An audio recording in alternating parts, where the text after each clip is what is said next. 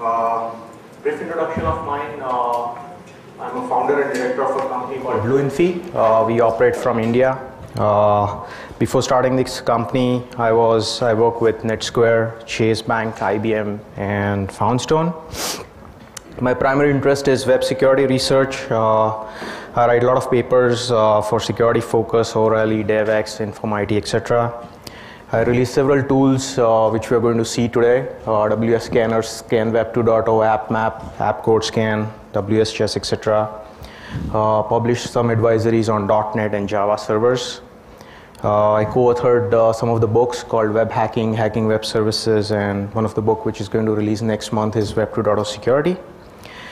Uh, today's agenda will start with uh, Web 2.0 overview and security concerns. Uh, then we'll look at Ajax security in detail, and then we'll look at web services in detail, since these two are the two critical components of Web 2.0 apps. Uh, some trends 80% of companies are uh, investing in Web 2.0 services as a part of Web 2.0 initiative. This is like uh, recent McKinsey 2007 global survey. Uh, by the end of 2007, 30% of large companies will have some kind of a Web 2.0 business, a base business initiative up and running. Uh, this is Gartner's finding, and it is suggesting by 2008 web services or service-oriented architecture would surge ahead, which we are all seeing uh, uh, nowadays. Every new application is coming up with a Web 2.0 framework, or old applications like uh, Yahoo Mail, which is now migrating to a beta Web 2.0 based Yahoo Mail and such. Uh, so how Web 2.0 application would look like, uh, what you have is uh, your local application where you have your database uh, and authentication servers running over here and you have a web services through which you are talking to the rest of the world over internet. Uh, your client-side application running in browser may be running with Ajax, maybe running with a rich internet application over a flash or uh, the key components of these applications would be HTML, JavaScript, and DOM, which is interactive, get changed. Uh, interesting part is on the other side where you have internet which is connected to weather, news, documents, email, bank, trade, RSS feeds, blog, etc. So you are from your start page pretty much you can access your emails, you can access your trading account, everything at a one page and that is a front end application. And interestingly on top your own application can be working as a web services and integrated into another's application as well. So what we are looking at over here is like uh, internet which defines network of networks. Now Web 2.0 is something like application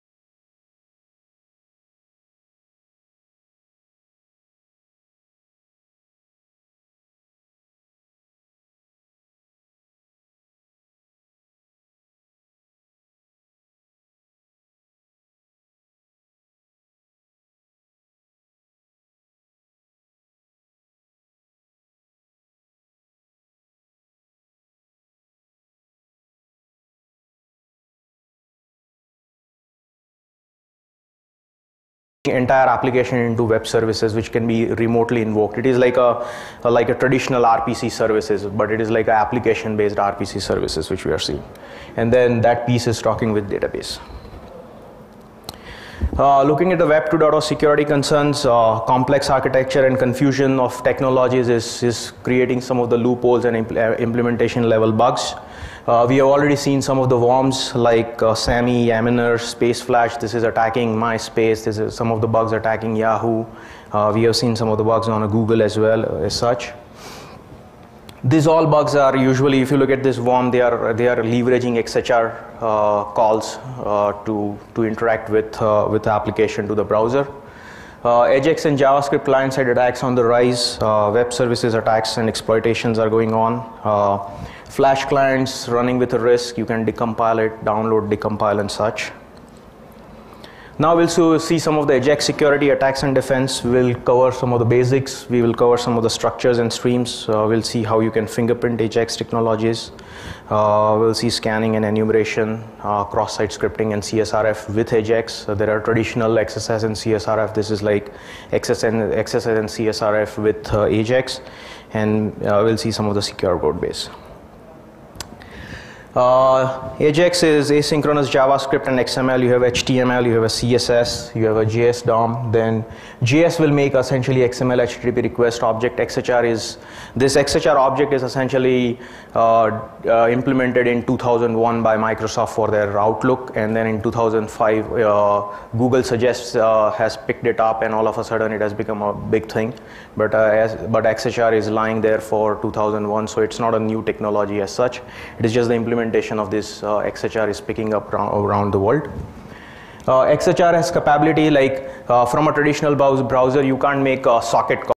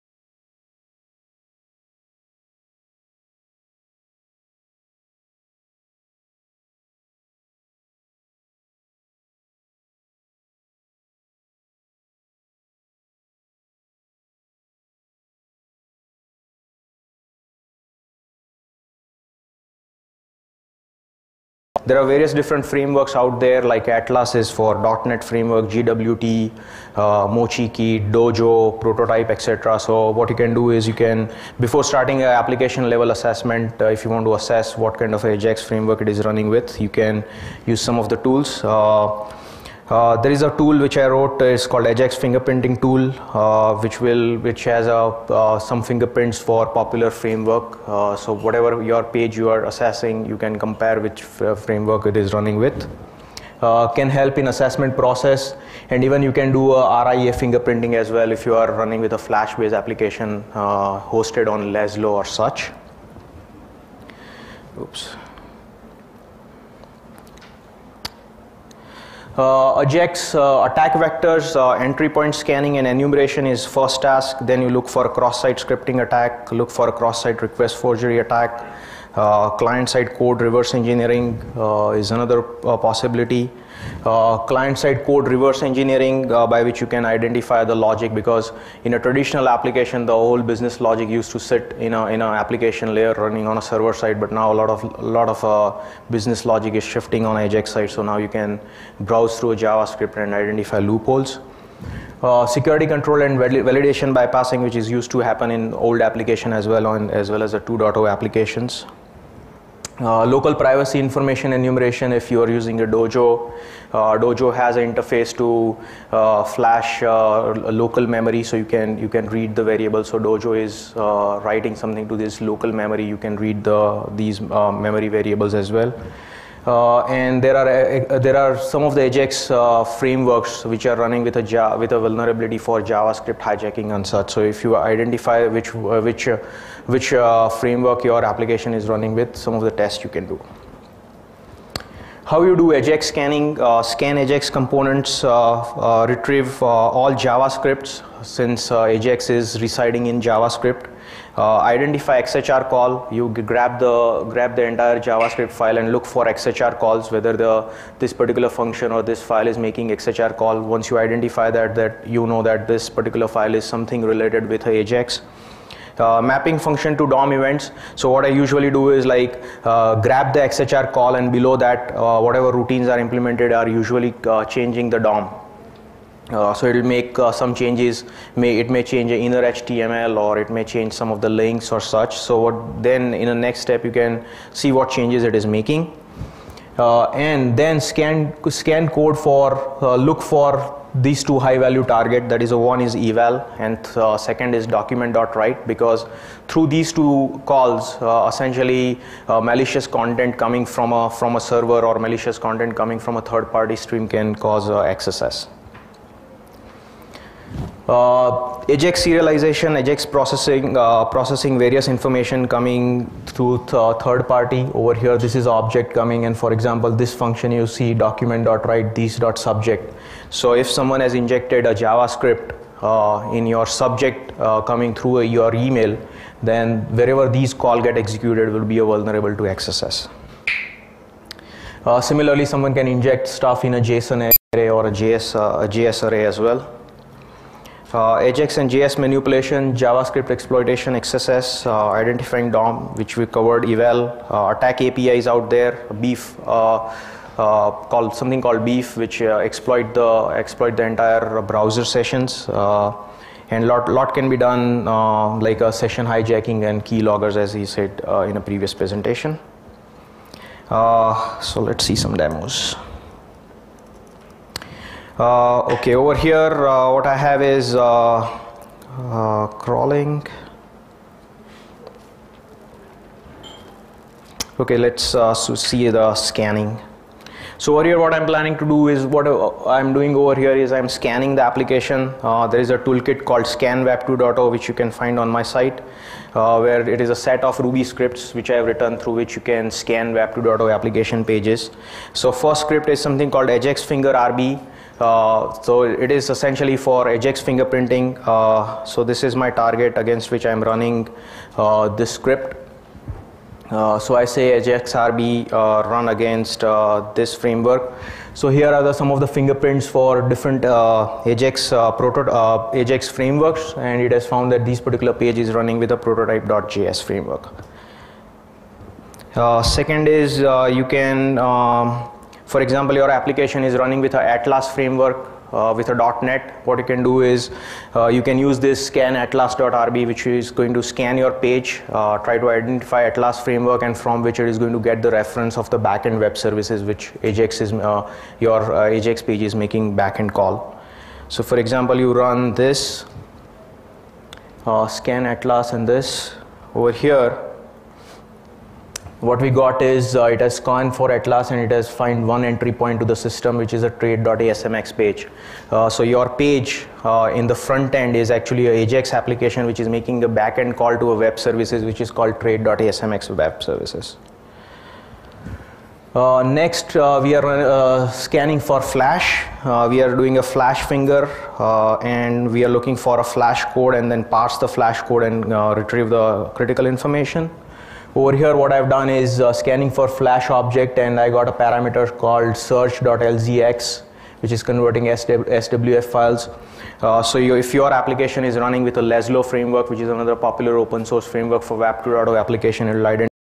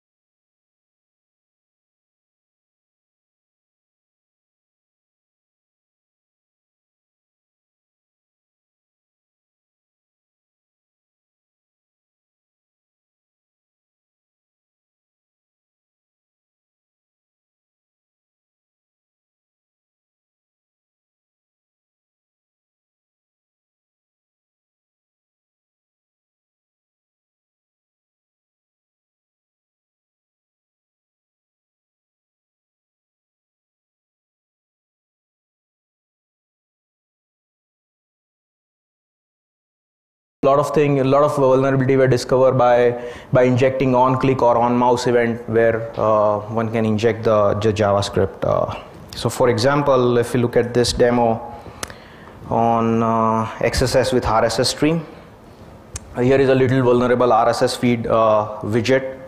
Uh, so you can pick uh, your feed which you already already configured.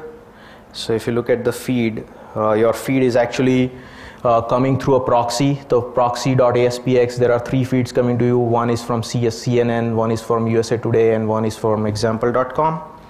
So then you are selecting one of the feed. Okay. So you pick your feed. Uh, we have selected the feed and in the feed, this is RSS feed. You can see the entire RSS feed over here and someone has injected over here uh, you can see someone has injected link javascript alert xss at this point any any any arbitrary script can reside. Uh, as soon as someone click interesting news item xss will get executed. So you are you are taking these rss feeds which are totally uh, untrusted feeds coming from anywhere in the world and it may cause a xss if your rss feed reader is vulnerable to these attacks uh, okay, let's move to presentation. Uh, Ajax crawling, crawling is the biggest challenge for Ajax, crawling Ajax driven app. Uh, a challenge, resource are hidden in a JavaScript, uh, simpler scanner will fail. Uh, crawling should be with actual DOM context, automated crawling with the browser is required. Uh, so how we can do that? I usually crawl application using something called Watir which is a Ruby interface to IE. So I can I can drive IE uh, through Ruby interface, and then what I can do is like as soon as a DOM get loaded in, in my browser, I can I can fire, fire all different click events programmatically and crawl entire site.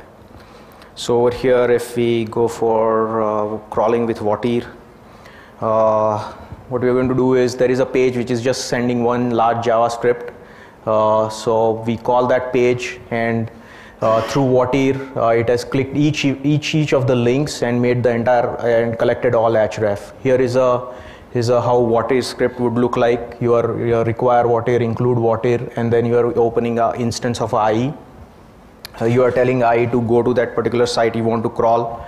Uh, so it will go grab entire uh, in in IE the entire JavaScript will will will be loaded and you have uh, complete DOM get painted. So now you have hrefs and everything you can look. If you make a same call using a protocol level, just open a netcat and make that call, you are going to get just one JavaScript. So you won't be able to do anything else because it is that particular JavaScript making actual XHR call at the backend, loading the uh, entire DOM once again.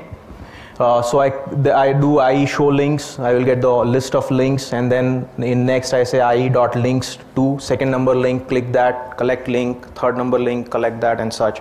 So this is the way programmatically I can control entire, entire uh, uh, browser. Uh, at the same time you can add some smart checks. For example, I, what I do is like I look for on click uh, and in, in on click I look for whether it is making a JavaScript call or not. So that way uh, I have a two kind of links. One is a static links and other is a JavaScript driven link. Whichever is a JavaScript driven link, I click that. If it is a static link, I just grab that. So this is on Ajax crawling. Uh, defending Ajax, uh, no business logic information on client side, do not trust third party source coming to you, uh, no direct cross domain callback, uh, try to avoid uh, this cross domain callback uh, if you are a developer, filtering at a browser level before processing information, avoid client side validations.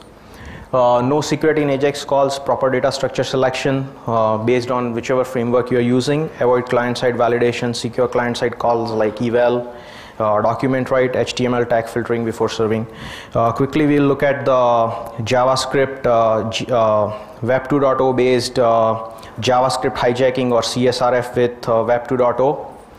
Uh, what we have over here is if if you if you are streaming for example you are making a request get request and streaming uh, I would say say JSON, uh, say JavaScript array to you what what one can do is what uh, it can make an arbitrary request using JavaScript SRC. So I'm making a cross-domain request here. Uh, since script is through which I can make a cross-domain request because it is not uh, abide to SOP. Uh, so once I make that request, what I'm do doing over here is I'm using, a, I know that that script is actually sending me, just a minute.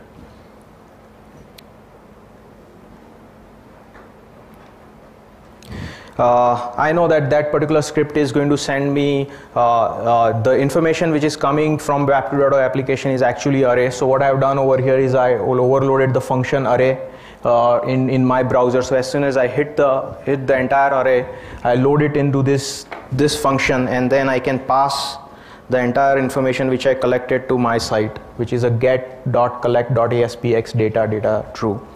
So over here you can see the entire information has been has been sent from so I collected array information coming from your target uh, domain, which is you already logged in. You have sent the uh, send your since I am using a script tag, it will replay the cookie. I will get the entire string coming to me, and then I reshuffle the information coming to me uh, to my site.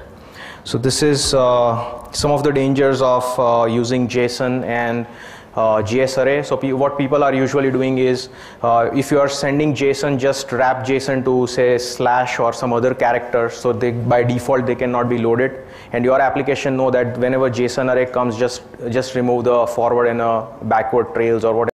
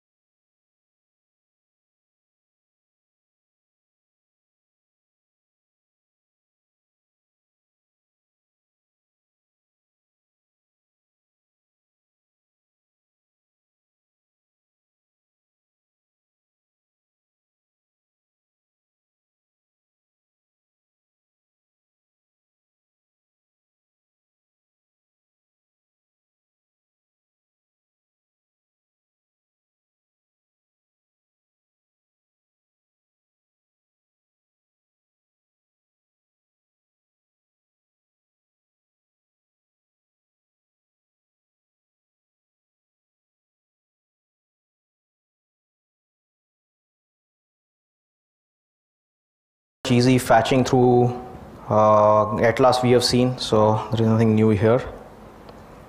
Uh, we can go to the slides. Which one is this? Okay. Uh, moving to secondary discovery, what you have is searching UDDI, which we have already covered, where you can search UDDI with a business services and T model. This is like a complex uh, structures for it. Uh, running queries against search engines like Google, MSN. You can use in URL and file type, look for ASMX. Uh, there is a tool which I have written called WS Scanner uh, which you can download where it is doing for example footprinting what I'm doing over here is I'm just you have to pass the Google API over here and then you have to pass amazon.com for example you are looking for web services running on amazon.com so it will take a permutation and combination of all different uh, queries and look for Amazon web services so here Amazon is running with these five web services on their domain similarly if you go for microsoft.com domain uh, Microsoft is running with 110 web services which you can see and on top you can do a pattern matching where you are looking for say I want I want a web services running with something related with Amazon so you can do a pattern matching uh, and run the services and you get a list of uh, web services running with Amazon name. Uh, so this is on uh, footprinting. Uh, once you have footprint, foot, foot, footprint and discovery of a ASMX file, you can call WSDL file. It is like a interface language file, IDL file uh, for RPC stubs. It, this is a, a, web web services stubs. So you have a scanning WSDL, looking for methods, collecting input, output parameters, security implementation, look for binding point, uh, map method signature, and then pretty much you can hack or you can assess your uh, web services. Uh, scanning strategies are manual invocation and response analysis, dynamic proxy creation. There are a lot of different tools out there by which you can create a dynamic proxy and then pro you can integrate that proxy into your code. So whether, for example, WSDL.exe comes with uh, .NET framework which you can use and that, that will create a C sharp or a VB code uh, for you so you don't have to worry about, there is an abstraction layer code. Uh, auto auditing for various vectors, uh, fuzzing, XML or JSON fuzzing you can do. Uh, key part is a response analysis. Once you make a SOAP call, uh, what you're looking for, look for a fault code or a fault string because that is where uh, 500 internal error and a five, uh, fault code and fault string. Uh, okay, next. Okay, we don't have much time now. Uh, okay, over here, for example, I'm doing a web services vulnerability, so I want to do a parameter tampering. over, oh, wait a minute, before that, I'm profiling and invoking the proxy. So for example, this is an application where I found access point uh, for a web services. So I go take the WSDL file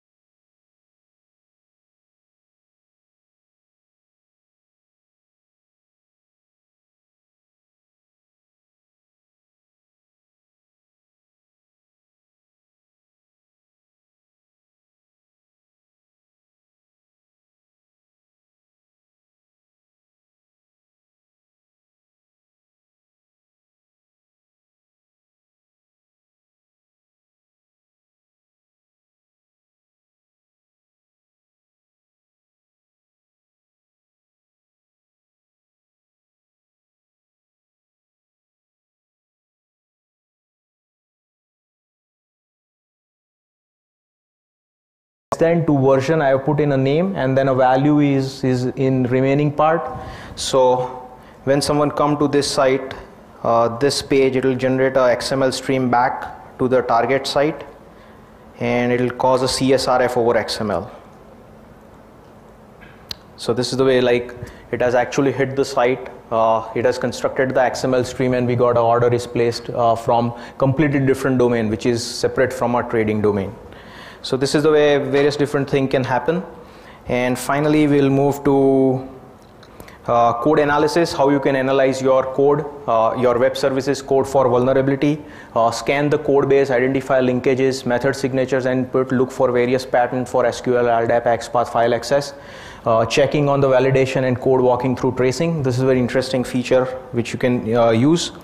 So for example, over here I have a app code scan application uh, which is capable of scanning, uh, which is capable of uh, scanning entire source code. So what I've done is I'm, I'm passing uh, over here I'm sending uh, saying that I want to scan ASMX files which is a which is a web services files. Uh, so I want to scan those files and then I select my code base which is uh, WS folder. And then I am selecting the rules over here these are the rules which I'm uh, using. Say web method slash n slash n so what I'm doing is I'm grabbing the web method which is actually the uh, web method is uh, essentially a web services method. And then I'm from a web services method I'm taking two or three line below. So from that I get the signature of the function method. Uh, if a web method is session enabled then I'm grabbing that. If it is a public all public function from the file which I'm getting I'm looking for a file stream and I'm looking for SQL command and select query if it is running on that particular page. So if I run this uh, over here I get all the signatures. So I got a public signature I got this. These are the command. And now I can what I can do is the interested uh, variable which I am interested in for example fs is the variable which I am interested in. I can trace the variable using this walk functionality. So what you can do is you can walk that function in, in, in multiple files. So you get the complete trace of your variable from where it is started and from where it is hitting. So you grab the variable which is coming in a public uh, function because you know that public function is actually grabbing HTTP uh, request parameter and then trace the variable and if it is hitting to your database or it is hitting to your file system then that's the vulnerable part. Uh, so that is it. And content filtering uh, regular firewall will not work. Client filtering HTTP will not work. Uh, you need a SOAP level filtering. Uh, ISAPI level filtering is essential. Uh, SOAP content filtering through HTTP module. Uh, so over here if you write a simple iHTTP module and plug into your application HTTP run application will come. Your iHTTP module will hit first before it actually hit to your web application. So you have a web application firewall which is actually for SOAP Uh, and there is a there is a tool which is called Web2Wall which is essentially a tool for